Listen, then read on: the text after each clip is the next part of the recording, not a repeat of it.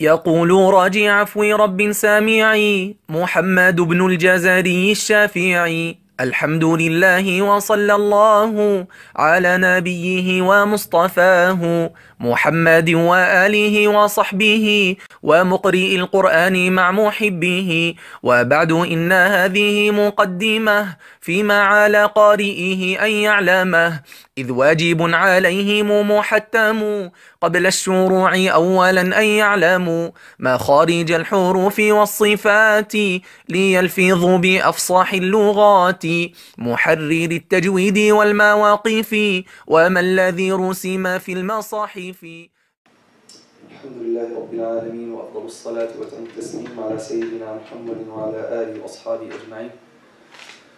اللهم علمنا ما ينفعنا وانفعنا بما علمتنا وزدنا علما وعملا متقبلا يا أرحم الراحمين. تمام جزاك الله خير.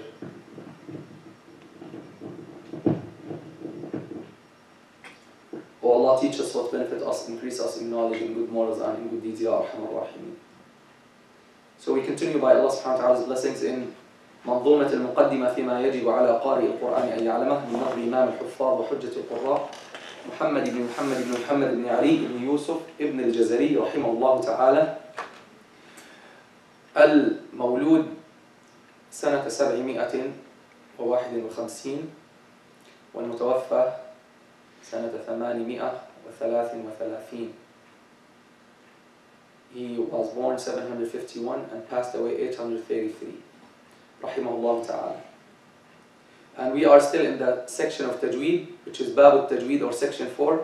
What does he say rahimahullah? والأخذ بالتجويد حتم لازم من لم يصحح القرآن آثم لأنه به الإله أنزل وهكذا منه إلينا وصل وهو أيضا حلية التلاوة وزينة الأداء والقراءة وهو إعطاء الحروف حقها من كل صفة ومستحقها ورد كل واحد لأصله واللفظ في نظيره كمثله مكملا من غير ما تكلف باللطف في النطق بلا تعسف وليس بينه وبين تركه إلا رياضة امرئ بفكه So these four sections المقدمة and مخارج الحروف and صفات الحروف and this section of tajweed are the most important in the whole poem in the whole poem these are the most important particularly مخارج and مخارج and صفات so you have to learn them very well and master them very well before we talk about idgham and idhar and, and qalb and ikhfa, before we talk about these ones, you have to know makharij very well and sifat very well. And for you as, as a hafid and as, as an ijazah seeker, you have to know very well the history of the Quran, how this Quran reached us, and why do we have to learn tajweed, and what is the ruling of learning tajweed. These ex extremely important topics have to be known by every Quran student. We stopped at the line لأنه which is line 28 لأنه به الإله أنزل وهكذا منه منه وهكذا منه إلينا وصل We said لأنه means because the matter is that with it means with what? With it means with what? تجويد With tajweed with it, bihi. Al-ilahu, the God, the ilah, anzala, revealed. And we said this alif is for what? Is not alif of the dual, is alif of the itlaq, right? So he just released the fatha to keep the rhythm. So bihi al-ilahu anzala. Because why it is mandatory to learn tajweed? Why it is, is it mandatory to correct your pronunciation and your recitation of the Quran in a way that you don't make mistakes that change the meaning. Why? Because this is because with tajweed and with this way Allah revealed it.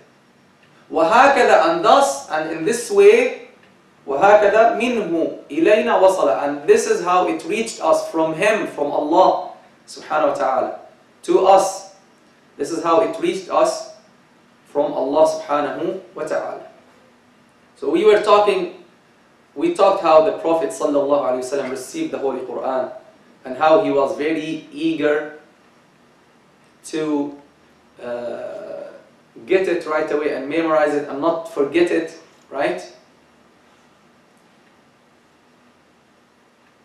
Then we mentioned some of the of the proofs about the, the Quran and how it is the book of Allah subhanahu wa ta'ala. And we started talking about the transmission of the Holy Quran. And we said we have two types of transmission. Right, Yashir? Two types. These are your slides, huh? We have two types of transmission of the Quran. So, so far, we still reviewing. But you can start from here. We have how many types of transmission of the Quran? Two. What are those two? Written and oral, right? We have written transmission and oral transmission. Which is the most, which one is the most important? Which, which one is the main one? Huh? Which one is the main one? The oral or the written? Or The oral.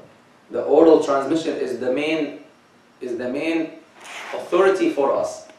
Now, in recent years, some in one of the British universities, they said they found, uh, they discovered some manuscripts of the Quran that goes back to the time of the Prophet ﷺ or the time of Sahaba. We say it doesn't really change anything for us. It doesn't change anything because the Quran is preserved orally by millions and millions of, of Muslims. And it was transmitted to them by huge number of people who got it from huge number of people who got it from huge number of people from Sahaba from the Prophet sallallahu. So there is no room logically for any mistake, right? So now if they come and say, ah, but uh, there are some differences, we say, we don't trust you. We don't trust your words. We have the oral transmission is the main authority. And yet, in addition to that, we have, we have the sciences that enable us to write a copy just like the one that was written in the Prophet's time. And you will mention this. So we said the Prophet wasallam when he receives some ayat, what will he do?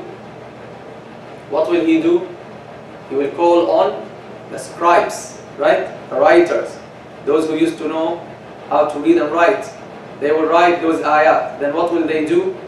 They will go out to people. Of course, we talked about how much the Prophet wasallam encouraged Sahaba, right? how much he encouraged, encouraged Sahaba and urged them to memorize and we said we mentioned many ayat and hadith to show how much encouragement the Muslims received from the Prophet ﷺ and that made them very eager to learn and memorize the Quran and we said that is the main reason to help to, that made Muslims memorize especially here in the US for example here in the US the, you guys, you memorize the Quran, but you don't know the meanings. Why? Because your your parents urge you, and you, alhamdulillah, inshallah, hopefully, you also love to memorize because you knew how many, you knew how, how great the rewards are. You will get the crown of life, and the Quran will be with you in your grave, and when you come out of the grave, and will shade you in the, on the day of, of judgment, etc., etc. All these blessings, and this is why you memorize, even though you don't understand the meanings, right? And of course, you should try and learn to uh, understand the meanings as well. But this is just an example that show you how the words of the Prophet wasallam and the encouragement of the Prophet wasallam uh, had a great impact in, on the lives of Muslims. So that was about the oral transmission. Then we talked about the written transmission and we said how Sayyiduna Rasulullah sallallahu alaihi wasallam he will ask Sahaba who write and he will call call them on and they will write then what will he do like in the hadith we mentioned as you can see on the on the screen this hadith one of the most important hadith in this regard where Sayyiduna Zayd radiallahu anhu as in this hadith narrated by Imam Tabarani he will say what I used to write the wahi the revelation right for Rasulullah sallallahu alaihi wasallam and he is dictating to me. And when I am done, uh, he will say, read. Read what you wrote. So I will read. فإن كان فيه سقط أقامه. If there was any mistake, he will correct me. Then I will come out to people. Now we said he's coming out to people. Why? What will he do? Now people will start copying from his copies. Some people might not have been present when the Prophet ﷺ called those writers because they were not like employees, right? So he will call them and yeah, all of them are present. No. Whoever is available, they will come and write. And some people who were not present, then they start make copies.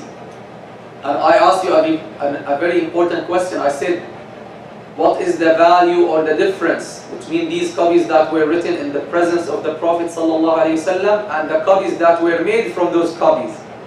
What's the difference? Those copies that were written in the presence of the Prophet ﷺ are sacred copies, are holy copies. Why? Why?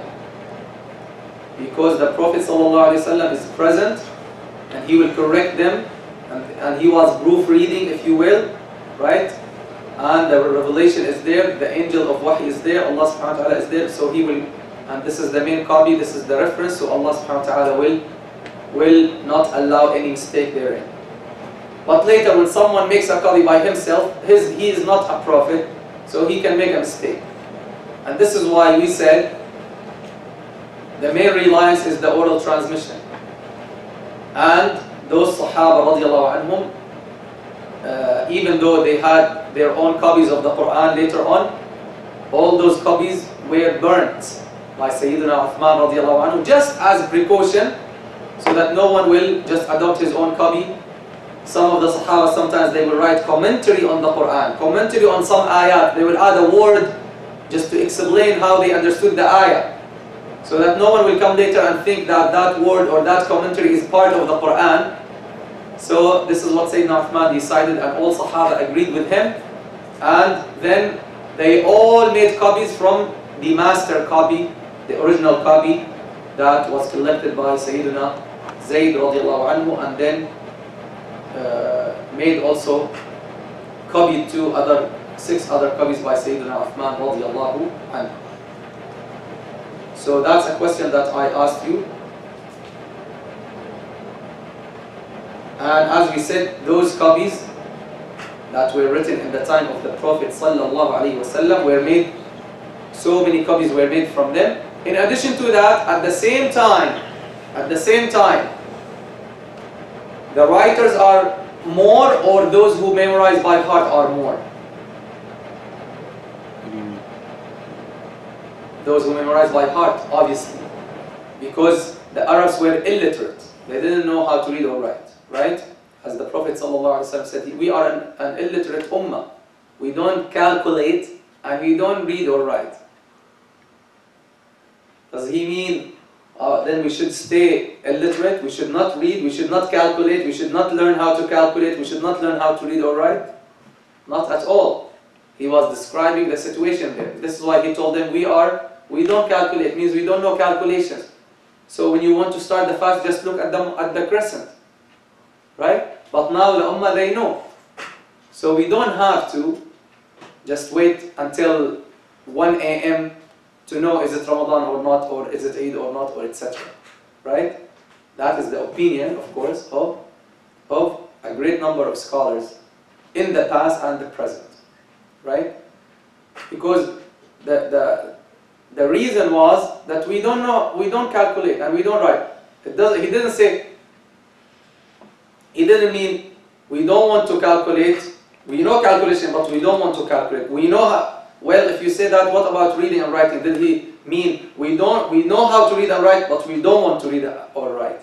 No, of course no. Anyway, so he sallallahu alayhi wasallam urged the Sahaba to write and to memorize and the, those who were memorizing were much greater in number than those who, who were writing. And as you mentioned, one of the female Sahabiyat, Umm Hisham, bint al-Harith she memorized the whole Surah Qaf just from the khutbah of the Prophet And you know the Sahaba, everyone teaching his children, etc., etc. Look, for me, by Allah's blessings, and my, my children, kindergarten and, and first grade kindergarten, she memorized one part out of 30 parts of the Quran. The other one, she memorized two parts. Two parts out of 30, and she's first grader. So what about those great ones? Even though she doesn't know that Arabic very well like them. For them, the Quran is their language. For us, the language of the Quran is not exactly the language we speak in our uh, Arabic dialects. There are some words that we don't know. We need to check the dictionary for. But for them, that was their direct language. So they memorized. They memorized. And we said that the main, the main means, the main means or the main medium for, for learning was what for them? For them is memorization.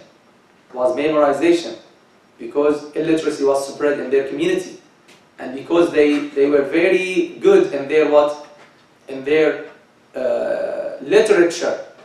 They were excellent in memorizing poetry, right? They used to have competitions and festivals of, of what?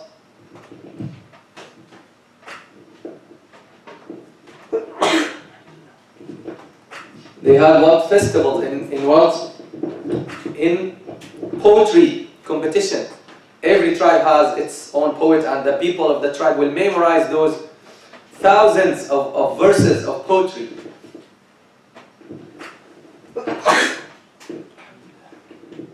Right? So that was the special qualities of the Arabs that enabled them to memorize the Quran and helped them to memorize the Quran really well. And also from the proofs of that, that on the day of Ma'una, that's I think where we stopped last time, right? What was the last thing you, the last point you wrote? Isn't it about Qunut? Huh? Was it about Qunut? No. What was it? Um. This is not my notes. Yeah, about the hadith where those 70 Qurra were killed, isn't it? What was the last thing you wrote? Were you here? What was it? We were about to I, I didn't have the chance to check the video exactly, see where we start. Huh? we were about to start the compilation. Huh? The copying? But we did talk about that. We talked about that? But did we explain the whole hadith? We didn't. So, we said on the day of Ma'una itself, 70 of the Qurra, the teachers of the Quran, were killed by the pagans. Imam Muslim narrated in his Sahih that from Sayyidina Anas radiallahu anhu, that some people came to the Prophet sallallahu alaihi wasallam and they said to him, they were non-Muslims, they said, ابعث معنا رجالا يعلمون القرآن والسنة. Send some men with us so that they teach us the Quran and Sunnah. So he sent them 70, 70 of the Ansar, of the supporters of the Prophet sallallahu alaihi wasallam, of the people of Medina, to which he migrated sallallahu alaihi wasallam. يقال لهم القراء. They used to be called al-qurra, the reciters. Means they memorized the Quran. They taught the Quran.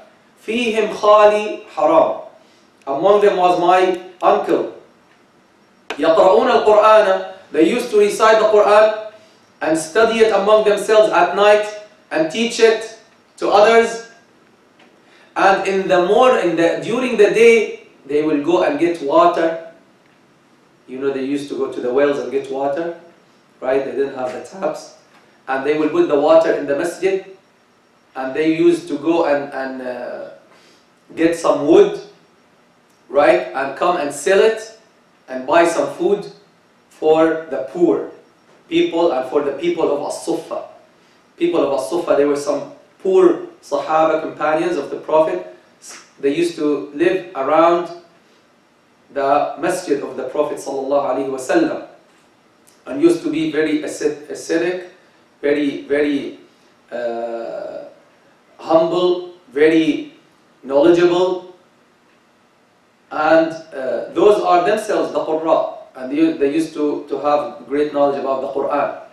So the Prophet ﷺ sent those people to, to those pagans to teach them. And then they made like a, a trap for them and they killed them even before they reached their place. And those Sahaba, they said, Oh Allah, inform your Prophet وسلم, about what happened to us. Inform him that we have met you and that we are pleased with you and that you are pleased with us. And then he said a man came and met the uncle of Sayyidina Anas radiallahu anhu and he stabbed him in his back. And then Haram said, the uncle of Sayyidina Anas, he said, فُزْتُ وَرَبِّ الْكَعْبَةِ Allahu Akbar. The man stabbed him on his back. And when he stabbed him and the, the, the, the spear, right, sphere, the, s- Spear. the spear, Spear. the spear came out from his, from his belly, from his back and came, penetrated his body. What did he say? He says, I won, I have won by the Lord of the Kaaba. فزت ورب الكعبة. Because once he dies, and as a shaheed, he will see right away his place in Jannah. Right? He saw right away his place in Jannah. So he said, I have won. I have won. Allah Akbar. So Rasulullah sallallahu alayhi wa sallam said, Allah subhanahu wa ta'ala informed him by the revelation, and he said, Your brothers have been killed. And this is what they said. They said, Oh Allah, inform our Prophet that we have met you and you are pleased with us and you are and we are pleased with you. So in another narration, when Sayyidina Anas was asked about qunut in salah, as I told you, he said, Sayyidina Anas, Rasulullah sallallahu alayhi wasallam made qunut one whole month after ruku'. One whole month he made qunut, which is the dua like the one we do in winter. He said he sent some people called al-Qurra, 70 men. They were killed. So Rasulullah sallallahu alayhi wasallam made qunut one whole month in all salawat. Fajr, Dhuhr, Asr, Maghrib, Isha, in all salawat. Praying against those pagans who killed his companions, the Qurra. See the importance of those great people. This qunut is called qunutul nazila, qunut of the disaster. When a disaster or calamity afflicts the Muslims, it is sunnah in the four schools. Shafi, Hanafi, Hanbali, Maliki, with some little differences that you make dua in salawat, in every salah. Some of them they say Fajr and Isha only. So you make dua after ruku and every salah to pray for the Muslims so that Allah lift the calamity or the disaster. How did that start? Because of the Qur'an. Because Rasulullah sallallahu alayhi wasallam was very, very sad as Imam Bukhari narrates from Sayyidina Anas himself radiallahu that I didn't see Rasulullah sallallahu alayhi wasallam feeling sad for something as he felt sad for them. He never felt sad for something and felt pain for something as he felt for those qurra because they, those are like a treasure for the ummah. Those are the, the teachers of the Quran. See the importance of the teachers of the Quran, of the qurra. A dua was legislated for them. A dua was started in salah because of them, for them, for their right to pray against those who killed them and violated their right. So this, in the time of the Prophet ﷺ that happened. This shows you what? Only an example how many of the Sahaba memorized the Quran and learned the Quran. And here we're talking about the whole Quran. Let alone, let alone that every surah of the Quran was memorized by a huge number of Sahaba, huge number. Just like now, let's say Qul Allahu Ahad. How many people in the world memorize Qul Allahu Ahad, Allahu Samad? Or Juz Amma, let's say. Hundreds of millions, right? Hundreds of millions. In every generation of the Muslim community, there's a huge number that know certain chapters of the Quran. And there's also a huge number that knows the entire Quran. So this is how this transmission, this is called tawatur. You remember when we learned the definition of the Quran, you have to know this very well. This is tawatur. How can all of them make a mistake and no one corrects the other? How come that let's uh, they sit and they fabricate something or they add something or they drop something? It's impossible, logically, reasonably, rationally, scientifically impossible. This is why I asked many of the of the brothers and the friends in, in Georgia, how do you I, I challenge one of them, just memorize this, just this page of the Bible for me. Just memorize this page, but you have to literally memorize it. No one, they, they fail. No one can, could do that. No one could do it. I said, tell me one person in the whole world who knows the Bible by heart, in any language you choose. No one.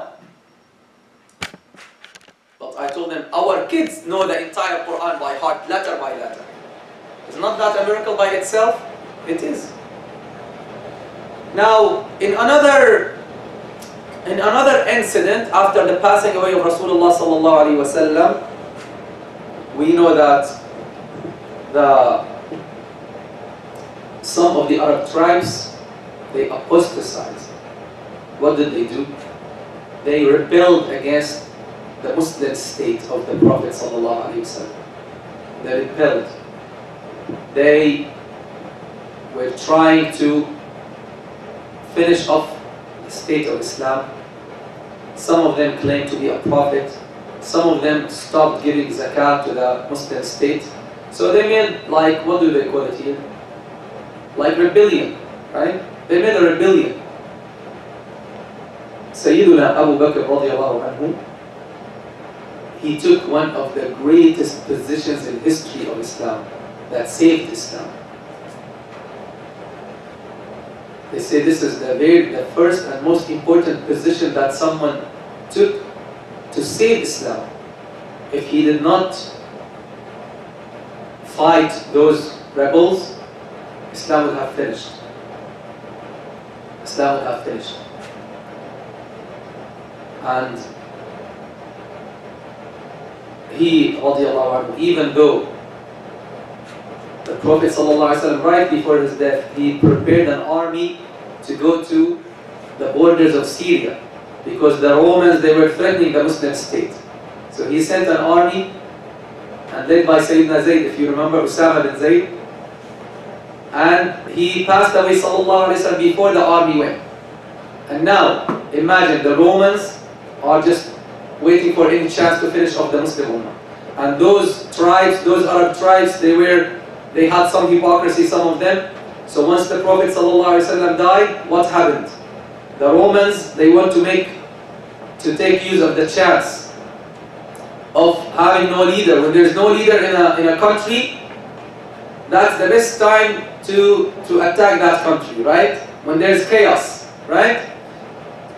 Sayyidina Abu Bakr radiallahu anhu, that amazing, great, greatest Sahabi ever, according to Ahl Sunnah radiallahu anhu scholars of Sunnah. He, what did he do? He sent the army of Sayyidina Usama. Even though, even though those, those Arab tribes rebelled, he also prepared an army and he by himself went and sent to also fight those rebels. In this way, even the Romans themselves, they were they, they quit their plans because they said this state is, is, a, is, a, is a great state.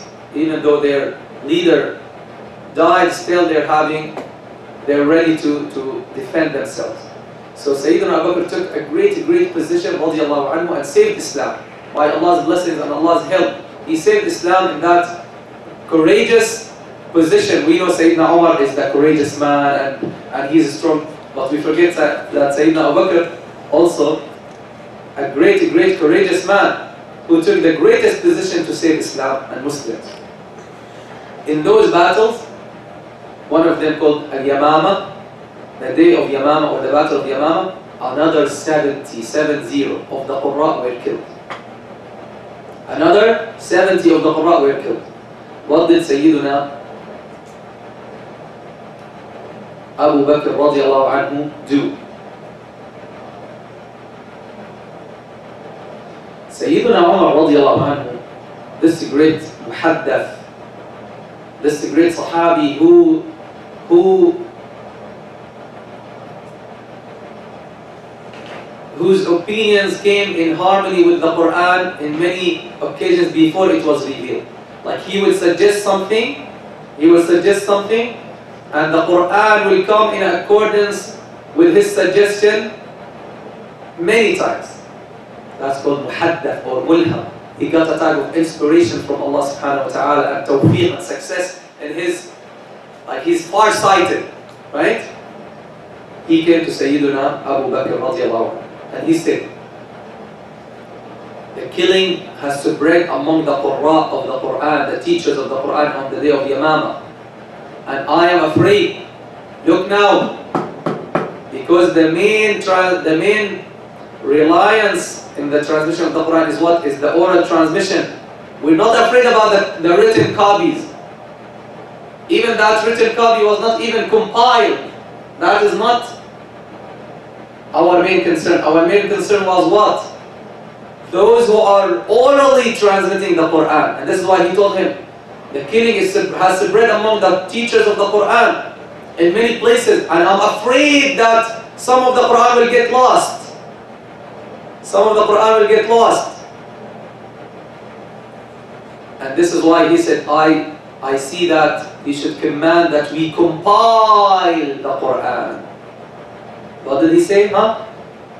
We, I, I, he's coming to suggest to the leader, to the Amir, to the president of the state. He's telling I think you should command that we compile the Quran. At that moment, where was the Quran? Was the Quran written at that moment? Was it written? Yes or no? Was it written? Yeah. Was it written? Written. Of course. The entire Quran was written. And more than one copy. More than one copy. Many copies in the time of the Prophet ﷺ. We explain that in details. But was there one copy that is compiled in one place? No. Those copies were distributed among the Sahaba and the scribes. So I wrote this copy, it's like mine, but this copy is sacred. Why? Like let's say I was a writer, a scribe in the time of the Prophet ﷺ, and he was, and he was, and he was. So when I go and write this piece of verses, that includes some verses, I have it, I keep it with me, right? But the value of this piece is, is, is, is very great. It's a sacred and holy parchment or piece of writing. Why? Because it was approved by who? By the Prophet ﷺ, and of course by the revelation from Allah subhanahu wa ta'ala. Right? But if I, someone, my friend, he came and made a copy from my copy, doesn't mean his copy is is is sacred or holy. This is why if you understand this, you will understand what Sayyidina Zayd did. You will understand what Sayyidina Zayd did and what he asked for. And what why he asked for two witnesses. For what? He asked two witnesses for what? Let's see. Now Sayyidina Umar radiallahu anhu, that was his suggestion. Again, Sayyidina Umar radiallahu anhu with his amazing farsight and intelligence, that was his suggestion. Then Sayyidina Abu Bakr said, How can we do something that Rasulullah sallallahu alayhi wasallam did not do? Is this a religious matter or just a worldly matter? What do you think? Hmm? Is this a religious matter? A matter that is related to our religion and to the core of our religion, which is the Quran, or just a, a worldly matter? Were they discussing a religious matter or a worldly matter? Huh? Religious. Sayyidina Abu Bakr, just like all the Sahaba, they were very keen on, right? They were very keen and eager on, or eager to, follow every step of the Prophet. Follow the Prophet in every step. Right? Following the Sunnah and the way of the Prophet. Why? Because he's the greatest person. He's he's supported by revelation from Allah. And this is why Sayyidina Abu Bakr said, How how can we do something Rasulullah sallallahu did not do? And here comes now, in this day and age, the argument of many Muslims. When we do something that Rasulullah sallallahu didn't do, they come and say, but Rasulullah sallallahu did not do this thing. But doesn't mean does it, does that mean it is haram? Well, if it is haram, then we'll listen to Sayyidina Umar. What did he say? Sayyidina Umar said, but by Allah, this is something good. Ah, By Allah, this is something good. So here we can learn just from this simple discussion among these two great, greatest companions of the Prophet sallallahu alaihi wasallam. Not everything Rasulullah sallallahu wasallam did sallallahu wasallam did, did not do is wrong to do. That's a, an invalid argument. That is not right. And the proof is Sayyidina Abu Bakr approved with him later. Approved with him. That means what Sayyidina Abu Bakr meant and what the scholars mean, something in something that the Prophet ﷺ specified. He told us Dhuhr is four rak'at, you cannot come and change it. He did not do Dhuhr six, so you cannot do it six. This is extremely important point. Because so many scholars now they come and, and students of knowledge and even normal people they come and ah, this is bid'ah. Ah, the Prophet didn't do this, so it's bid'ah, so it will lead you to the hellfire. And this is bid'ah, and this is bid'ah, that's bid'ah. Why? The Prophet didn't do it. So we have to understand this argument. It is an innovation that is rejected if the Prophet ﷺ specified something, then you come and you want to change it. He specified dhuhr four rak'at. He specified the salawat are five, the obligatory salawat, etc. etc. He specified after salawat you make 33 subhanallah, 33 alhamdulillah, etc. Or in another narration 10 times subhanallah, like when you're in a hurry for example, let's say. Don't start making like 10, 10, 10. You say Abdullah said uh, you can only make 10 instead of 33. You can make that in like sometimes when you're in a hurry, let's say. So Sayyidina Umar radiallahu anh, he told him this is something good. So now when we make a a completion ceremony for Quran students, they memorize some parts of the Quran, we make a celebration, we bring some food, we make some nasheed, we give a reminder. That's something Rasulullah did not do. Sahaba did not do. The students of Sahaba did not do. And this is a religious matter or no? Huh? It's a religious matter or no? It is a religious matter. So if you come and tell me, ah, this is bid'ah, okay, then why, how you're doing it? Same thing celebrating the birth of the Prophet ﷺ. Same thing, uh, dua when you complete the khatam of Quran in Taraweeh. The Prophet did not do, Sahaba did not do, sallallahu alayhi wa sallam, wa. You get the idea? So those people who come with everything that Rasulullah did not do, sallallahu alayhi wa and come and say bid'ah, bid'ah, bid'ah, they are themselves drowned in many bid'ahs. So their bid'ah is not bid'ah, but our bid'ah is bid'ah. That is, these are the words of people who don't have foundation in knowledge. You understand? The bid'ah is something that you start in the religion which contradicts any of the foundations or any of the traditions in the Quran or the Sunnah. That is the bid'ah. But anything that, that we start, any practice that we start in the religion that does not contradict the Quran or the Sunnah, that is not a bid'ah. The one that contradicts the Quran or Sunnah, that is the bid'ah that is rejected. The one that changes what the Prophet ﷺ specified, that is the bid'ah. Is that clear? The thing that changes a prescribed ibadah, that is the bid'ah. If you change a prescribed ibadah, or if you claim or start an ibadah and you claim that it is prescribed. I'll give you an example. Celebrating the birth of the Prophet ﷺ is an activity, is a da'wah activity, where you make use of the event or the time of the birth of the Prophet ﷺ to remind people about his life and to give food and etc. etc. That's an amazing thing. That is all full of good.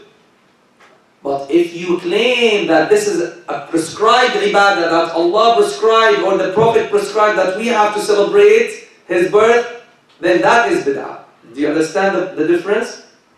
Same thing, if we want to make a juz completion or khatam completion, khatam ceremony, and we celebrate and make dua and, and make nasheed and give food, that is very good, very nice. But if you claim, huh, if you claim that this is an ibadah that we have to do this thing, then that is a bid'ah. Do you understand the difference? Okay. So Sayyidina Umar radiallahu anhu, and this is the vast majority of the Muslim scholars, And this is why they said there are some bid'ahs that are mandatory. It's mandatory. For example, learning the science of tajweed, the theoretical rules, idgham, idhar, iqlab, it's mandatory communal obligation to learn these rules and teach them so that the Quran is preserved in its pronunciation and in, in its words. Even though this was not in the time of the Prophet Sahaba did not know something called idgham and idhar and qalb and ikhfa, etc. Even though they used to apply them, but theoretically did not did not even have those names for those rules. Right? Same thing with the Arabic grammar, same thing with so many other things. So Sayyidina Umar said, this is something good. Well, is there anything in the Quran or Sunnah that prevented the Muslims from combining the Quran? No. Is this thing that Sayyidina Umar is suggesting, is it something that will achieve some interest and benefit for the Muslims? Of course. Then Bismillah is not bid'ah. It's good. See what Sayyidina Umar said? It's good. So, Sayyidina Abu Bakr said, Umar continued discussing with me until Allah sharaha sadri lidhalik. Until Allah opened my heart for that. And now I have the opinion that Omar has. Who's talking to who? Sayyidina Abu Bakr talking to who? To Sayyidina Zayd, the master of the compilation of the Quran. Now Sayyidina Zayd said, Sayyidina Zayd said that Sayyidina Abu Bakr said to him. So now Sayyidina Zayd came and Sayyidina Abu Bakr told him, Omar came to me and told me this, this, this. So we had a discussion until Allah opened my heart. So now I think yes, we should do like Omar suggested. We should do what? Compile. Compile the Quran. Why? Because our main reliance is on the oral transmission, on the Qur'an, on the reciters, on the teachers. And now a huge number of them is being killed. So we're afraid if a huge number is killed, now we're afraid that some of the Quran will not be transmitted, huh? Will not be transmitted as before, will not be taught as before because we're losing the teachers. So let's catch up before. So what is the solution? We cannot now make copies of those Qur'an before they die. We cannot make a copy of the Hafid in a quick way, but we can make, compile the main copy, and then people can learn from that copy. Through the help of the remaining Huffaz and Qurra and teachers. Did you get the point? So Sayyidina Abu Bakr said to Sayyidina Zayd, إِنَّكَ رَجُلٌ شَابٌ عَقْلٌ You are a young man, and a wise man, a mindful person. And we never, look, we never, we never doubt your trustworthiness and honesty. And you used to write the revelation to Rasulullah sallallahu alayhi wasallam. So please go and compile the Quran and follow and get every parchment and compile it in one copy. So he said, by Allah, if they asked me to move a mountain from its place, it wouldn't have been heavier and more difficult than what they commanded me to do. Subhanallah. This was his fear of Allah subhanahu wa ta'ala and his fear of the responsibility and, and the sacredness of this act, of this task. You're gonna compile Allah's words. You're gonna go every ayah, every pieces of verses. You have to get all those parchments, all those pieces of leather, all those uh, bone uh, shoulder blades, all those stone tablets, all those uh, big leaves of trees in which the Quran was written. Imagine, imagine, imagine how, how many pieces he has to compile. It's a huge task. How he's going to compile them? He already memorizes the Quran. And many, many Sahaba still memorize the Quran. Right? 70 doesn't mean they were only 70. No. And here some some some people who, who attack Islam, they say, ah, they were 70, this means now when they're compiling the Quran, they were in doubt. How they were in doubt? Who told you they were only 70? When the Prophet ﷺ passed away, there were 100,000 Muslims in Hajj. 100,000. When he entered Mecca, there was there were 10,000. Those are only the fighters, 10,000. Let alone the children and the women who, who all memorized huge or full amounts of the Quran. Full, the full Quran or huge amounts of it.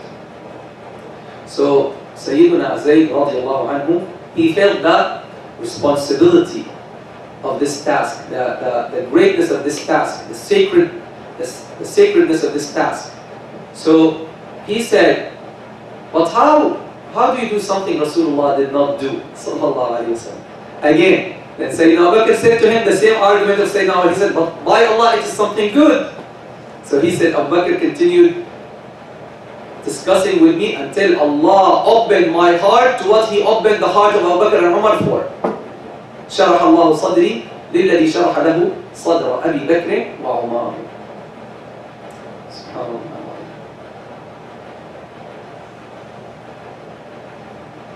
So he said, فَتَتَبَّعْتُ الْقُرْآنِ So I started tracing, going, searching. He stopped, as in the other hadith with Sayyidina Umar at the door of the masjid, and he started calling any person who has anything written in the presence of Rasulullah sallallahu alaihi wasallam of the Quran, let him bring it. And let him bring, huh? Now the, the important points you have to open your minds well. And let him bring two witnesses two witnesses. Who can tell me witnesses for what? They saw that uh, they saw him in the presence of the Excellent. He stopped at the door of the masjid and started calling the Muslims. Anyone who has anything that was written in the Prophet presence, bring it, and you should have two witnesses that two witnesses that this piece of the Quran was written in the presence of Rasulullah sallallahu alaihi wasallam. Why? Because those pieces were. What's the value of those pieces? Sacred and holy pieces. And this is why we need two witnesses that you were there. Even though we trust you, but we want another witness. So he said, فَتَتَبَّعْتُ الْقُرْآنِ I started collect, compiling the Quran, getting the Quran from those leaves of trees, from those stone tablets, from those shoulder, shoulder blades. And the Sahaba are with him. He's not doing it by himself, he's like the head of the committee. He's like the head of that committee. Then he said, I started compiling, compiling. So when he's compiling, does he know what he's compiling? Does he memorize what is there? Of course. Only him? No. Sayyidina Umar knew the Quran. Sayyidina Abu Bakr knew the Quran. Sayyidina Uthman knew the Quran. Sayyidina Ali, Sayyidina Ubay, Sayyidina Abu All of those great Sahaba knew the Quran very well. And, and look now what he said. I missed an ayah. I missed some ayat from Surah Al-Tawbah and Surah Al-Ahzab. I couldn't find them except with one person. Abu Khuzaymah ibn Thabit al-Ansari. What did he miss? What did he miss? What did he miss? by the second last ayah, don't. Two, two ayat from Surah Al-Tawbah and some ayat from an ayat from Surah what? Al-Ahzab. What did he miss? Like he forgot the ayat. What is he talking about? Guys, this is a very important question. What did he forget? But what did he miss? What is the thing that he didn't find? What is it? He compiled the whole Quran. What did he compile?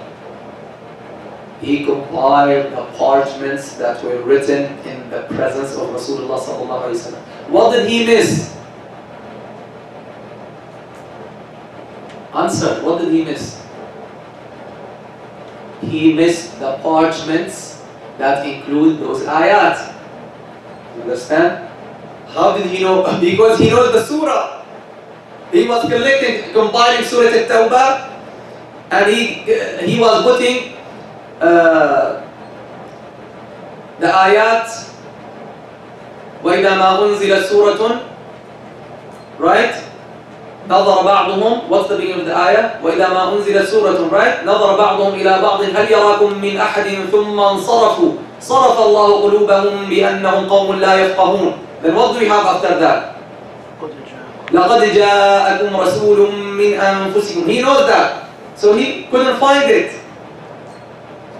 the main reliance is what the oral transmission and of course he's not working by himself only he's the head of the committee so he missed what the written parchment of those ayah well does that mean no one except for Sayyidina Abu Khuzaymah bin Thabit had that parchment of course not some Sahaba also wrote it, but he wanted only and exclusively the parchments that were written when in the presence of the, of, the, Prophet.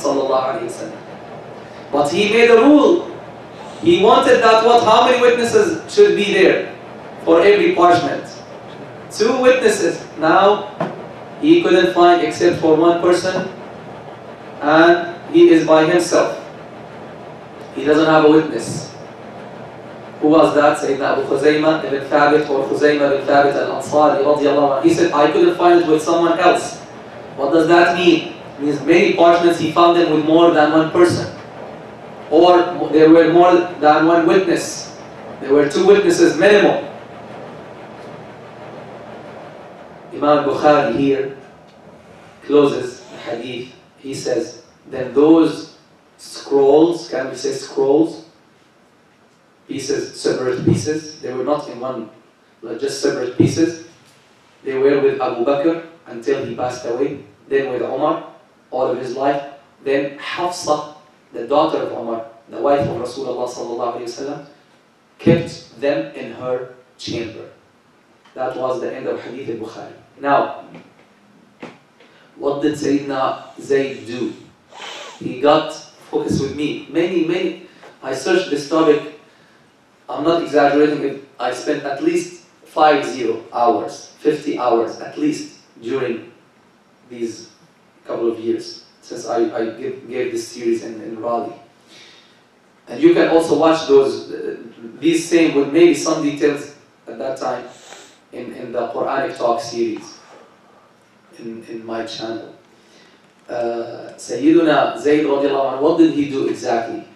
He got those parchments and he now, what did he do? He copied them, huh?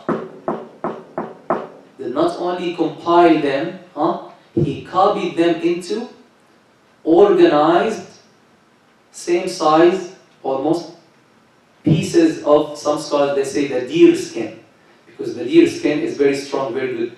So this is what some scholars say. So he, the, the point is he organized them in similar scrolls or pieces of leather. And instead of having them in some verses on shoulder, shoulder blades, some verses on, on stone tablets, some verses on, on leaves of trees. No, he got now combined them and he had them where on scrolls of, of animal uh, skin.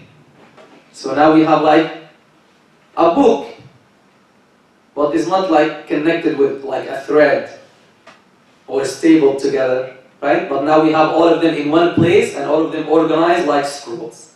That's what he did. But still we have a problem here. What was the problem?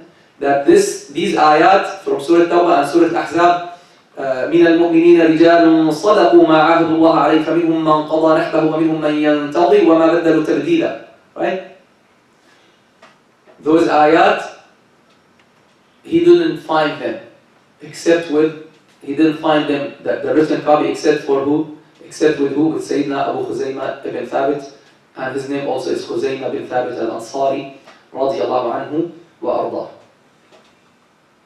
so as you mentioned after the time of the Prophet ﷺ, in the time of Sayyidina Abu Bakr, as you can see on the screen, please look at this screen, exactly describes what I mentioned, Shaykh.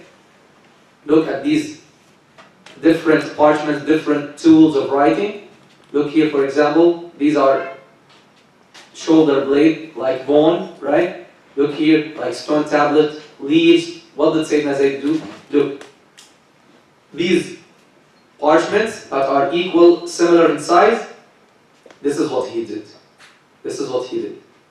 He put all of them, copied those into these pieces, and now we have this copy of the whole Quran. It's almost like a book. Did you get it? Now, what did Sayyidina Zayd do? We have a problem here. We don't have, the problem is not that, uh, like, these verses are some, some ignorant people who did not study, who did not learn, who did not read the old hadith. They think, ah, those ayat were only new, were only known by Zayd. We're not talking about hafd here. What are we talking about? What are we talking about? Are we talking about hafd or the written copy? Here we're talking about the written copies that were written in the presence of the Prophet.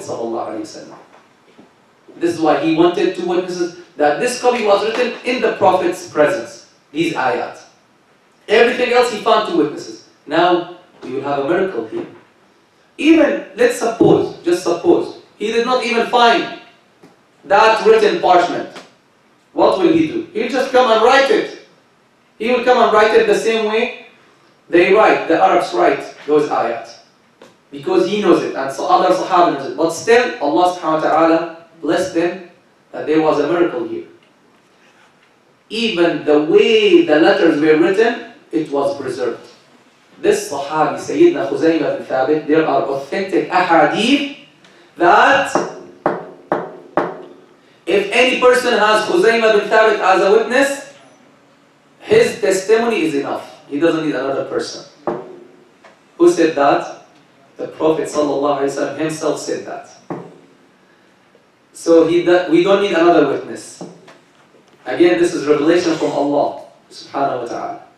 If Khuzaymah bin Thabit anhu gives a testimony on something, on something, he doesn't need another witness. His testimony by himself is enough.